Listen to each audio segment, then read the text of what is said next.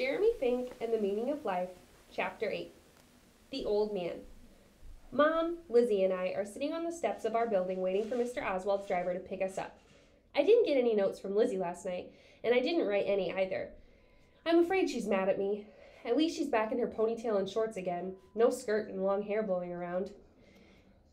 You've both got the notebooks that that policeman gave you, Mom asks. We shake our heads. I got the impression you're supposed to bring them, she replies. Go on up and get them. I'll wait in case he comes. As Lizzie and I climb the stairs, she asks if I'm mad at her. Relieved, I shake my head. I thought maybe you were mad at me. After all, you wouldn't be in this mess if it weren't for me in the box. And you wouldn't be in this mess if it weren't for me, she counters. Do you think that we'll still be able to find the keys in time? I ask. We'll keep our eyes open, she says firmly. We won't let this stupid community service thing ruin our plans.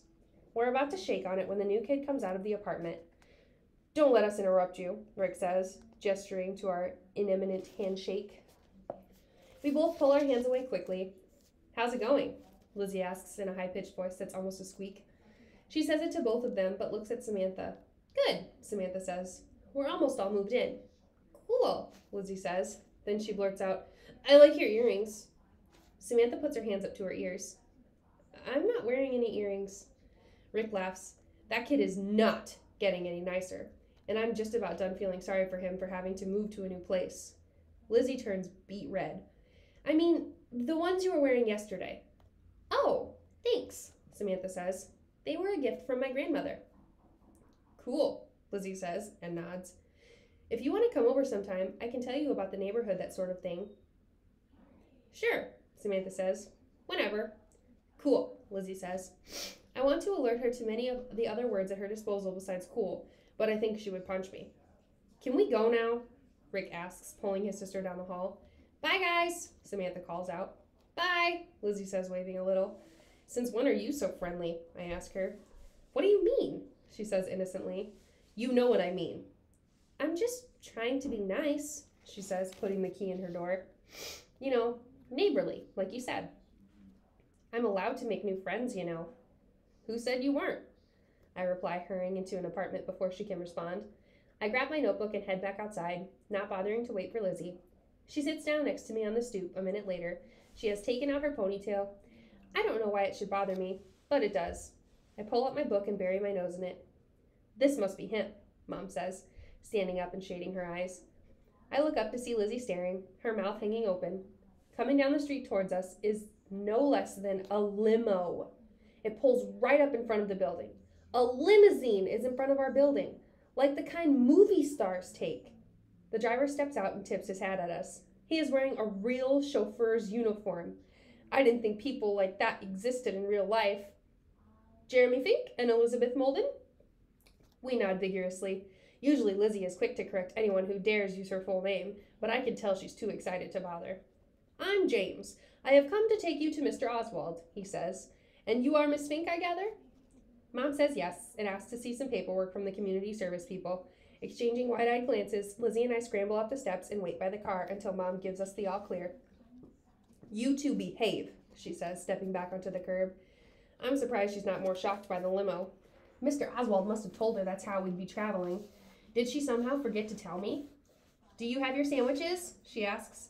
Yes, Mom, I say, reddening as James looks on. When he steps aside, James opens the back door for us. Lizzie scrambles inside, and I follow her onto the cool interior. I can't believe we're actually going to be driven around in the city in a limo. The seats are cream colored, and I've never sat on anything so soft in my life. Even though it's a bright sunny day, the inside of the limo is dim because the windows are tinted. A small refrigerator is built into the wall along with a television set and a radio.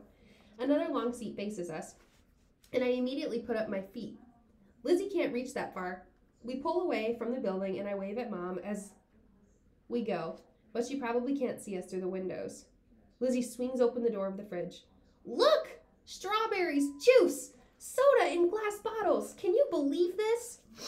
I shake my head, leaning back against the cool seat like I'm used to the life of a luxury. Man, oh man, Lizzie says. If I had known doing community service was going to be like this, I'd have gotten us in serious trouble years ago. at the first red light, the window dividing us from James slowly lowers. He turns his head to look at us. I imagine everything is satisfactory, he asks, a small smile on his face. Lizzie unscrews the top of a Coke bottle and asks, Is Mr. Oswald really, really, really super rich? James laughs. He's pretty well off. I didn't realize pawnbrokers made so much money, I say.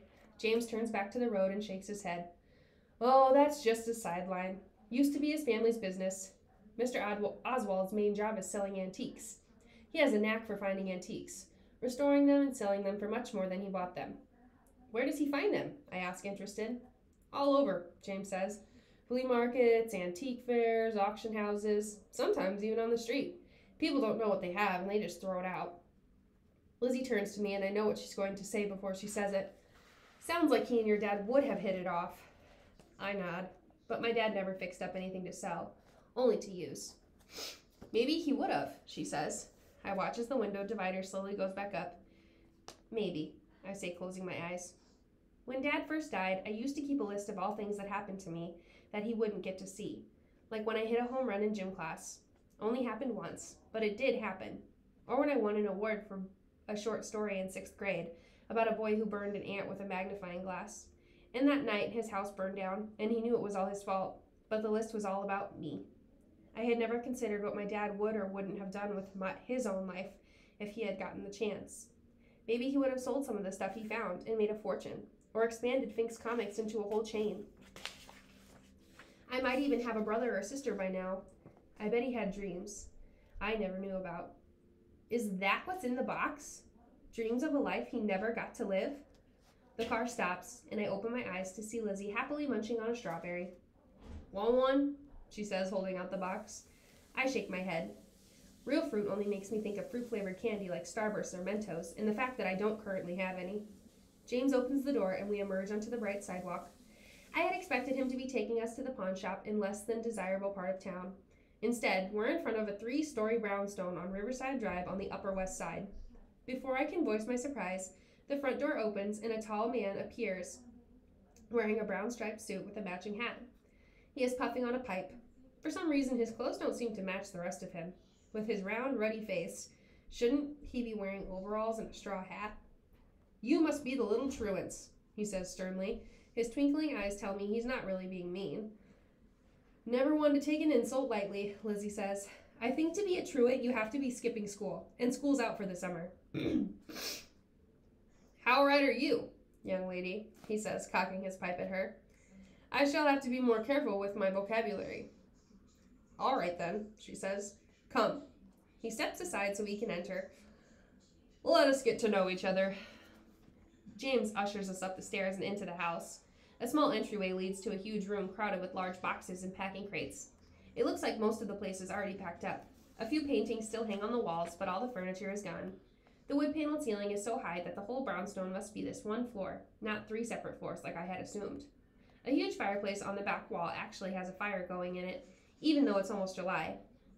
An old man's bones need warmth, Mr. Oswald says. Following my gaze, that's why I'm moving to Florida. Let's go into my office and I'll tell you what you'll be doing. A round woman in an apron appears from the other end of the room and her hands and hands her his pipe. She stands in the mail return. Mr. Oswald says fondly, This house would stop running if it weren't for my housekeeper, Mary. Mary smiles at us, and I notice a Hershey's bar sticking out of one of the pockets in her apron. I smile back. She is clearly a kinded spirit. Lizzie is too busy peering inside a large open crate to pay any attention. Mr. Oswald leads us carefully through the maze of boxes and into a room about half the size of his fist. This is this one has another fireplace, but it doesn't have any fire. A big oak desk sits in the middle with this big leather chair in front of it. Shelves line two walls of the room with objects of every size and color. I see sports equipment like baseballs and bats and footballs and hockey sticks, but also lamps, clocks, paintings, sculptures, rows of books, a telescope, radio, jewelry boxes, piles of stamps and plastic folders, trays of old coins, basically anything and everything under the sun. I imagine this would be my parents' vision of heaven. I have to make a concreted effort to close my jaw. I realize I haven't spoken a word since we arrived, so I clear my throat. um, Mr. Oswald? Yes, Mr. Fink, he says, sitting down beside the desk. I don't know how to respond to that. I'd only heard my dad and uncle called Mr. Fink. I don't know why it should surprise me that when I grow up, people will be calling me by the same name as my father, but it does. Uh, Jeremy is good, I say. Jeremy it is then, Mr. Oswald says. Um, would it be alright if I look at your stamp collection? It'll only take a minute. Be my guest, he says, waving me over to the shelf. Are you a long-time Philatelist? I'm sorry, what? I ask. He smiles. A stamp collector. They are called Philatelists. Oh, I say, feeling a bit stupid. No, my father was. There's this one stamp he was always looking for, so now I, well, you know. He finishes my sentence for me. Now you have taken on his quest?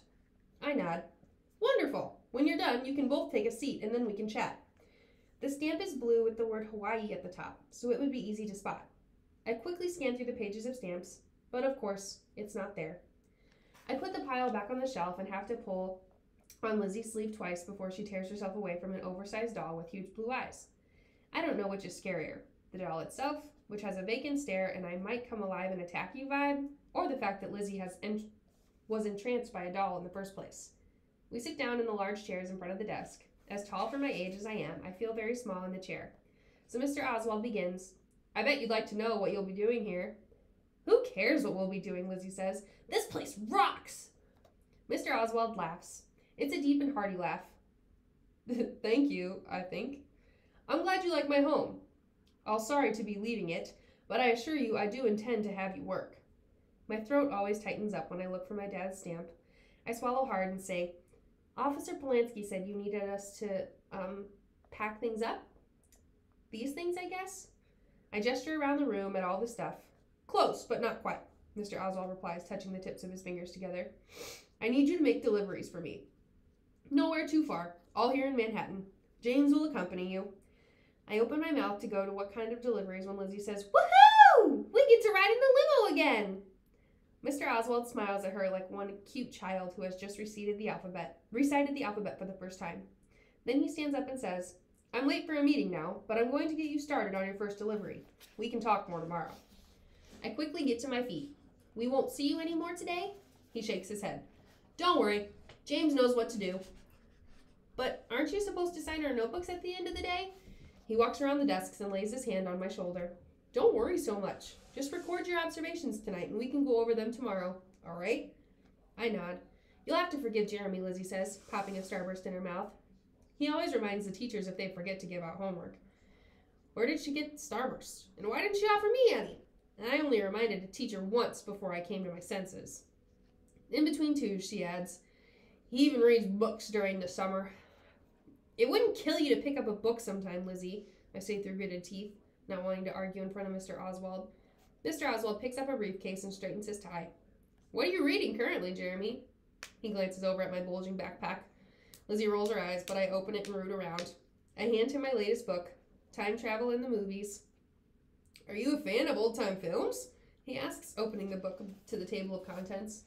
I nod. I've seen them all, I say, hoping I don't sound like I'm bragging. What's your favorite? He asks. I have to think for a minute. It depends on how realistic they are. Like, if they could really happen, you know, scientifically. He doesn't answer, so I keep rambling. I mean, like, there's this one where all these guys they all they do is lie down on his bed and then he concentrates really really hard and eventually he winds up in the past now that can't really happen i would suspect not he agrees and hands me back the book i pull dad's box out for a second while i stick the book back in my bag what an interesting box mr oswald says may i see it for a second i'm torn i've decided to not show anyone else but i can't be rude so i hand it to him i look at lizzie whose mouth who mouthed the words "Brought it with you." I shrug. I couldn't leave it home alone. Mr. Oswald hands it back to me and says, Lovely. I can give you some bubble wrap if you want to wrap this up. It will help protect it. Okay, sure, I say, surprised and slightly insulted that he hadn't said more about it, or about the words on it. I guess he sees so much stuff on that wooden box it doesn't impress him.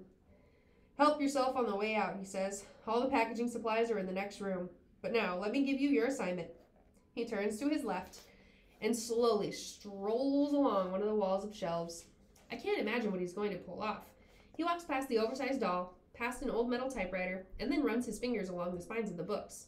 He pulls out one of them, opens the front cover, then sticks it back on the shelf and pulls out another. He keeps doing this until he opens a small book with a light blue cover and an envelope slips out onto the floor. I'll get it, I say, bending over to pick it up. The envelope is yellow and thin, and there's a name written on the front in the back in black ink. Mabel Parsons. Mr. Oswald takes it from my hand and sticks it back in the book. The cover is so faded that I can't see the title. Even a reader like you probably won't be very interested in the topic of this book, he says, placing it gently into a cardboard box lying open on his desk. It's about woodland animals. Woodland animals? I repeat. He nods as he tapes up the box with a thick packing tape. Owls, bears, rabbits, that sort of thing. It doesn't sound pretty boring. Are you donating it to a library? I ask. Oh no, he says, but doesn't explain further. He puts a yellow post it note off a pad and sticks it on top of the box. He writes an address neatly on it, and I can see his hand shake a bit with effort. I wonder how old he is. He's definitely older than any of my grandparents. He presses an intercom on his desk, and I hear a low buzz a few rooms away. James appears a minute later, and Mr. Oswald hands him the package. The address is on here, he says. I'd like you to accompany the children to the door, but then they're on their own. Yes, sir, James says. I'm about to follow the men out of the room when I turn to find Lizzie holding the blue eyed doll in her arms. When she sees me looking, she quickly sits it back on the shelf. I raise my brows and she glares in return. We wind our way back to the front door, stopping once so I can pick up a sheet of bubble wrap. Good luck, Mr. Oswald says warmly, swinging the door shut behind us. Wait, Lizzie says from the top stair. Why do we need luck?